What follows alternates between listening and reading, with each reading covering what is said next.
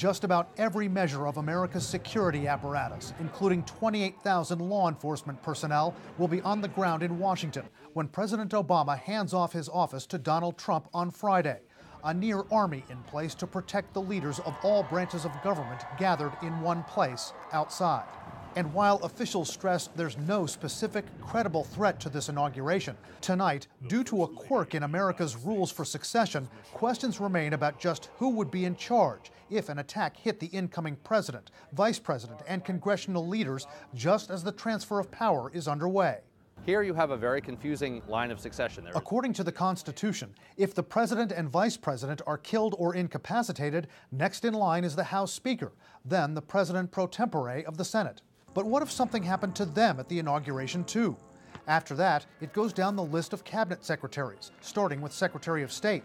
On the day of the inauguration, as a precaution, a cabinet secretary called the designated presidential successor will not attend the inauguration, ready to step in if something happens.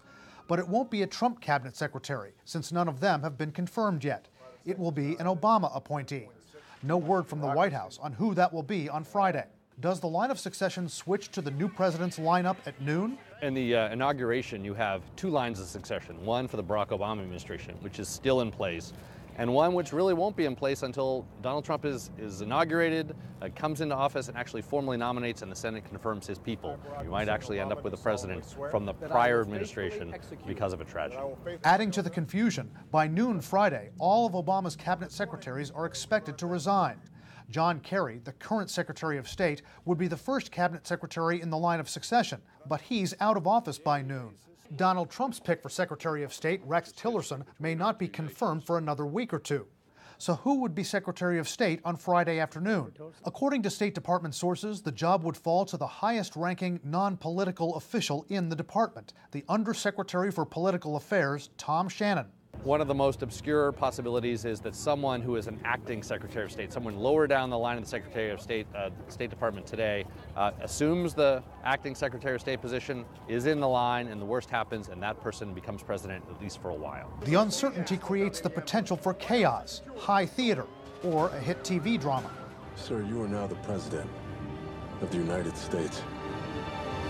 In ABC's Designated Survivor, Kiefer Sutherland plays an obscure cabinet secretary, unexpectedly thrust into the presidency after an attack at the Capitol during a State of the Union address. Former Agriculture Secretary Dan Glickman once played that role in real life. In 1997, during an address by President Clinton to Congress, he was the designated survivor.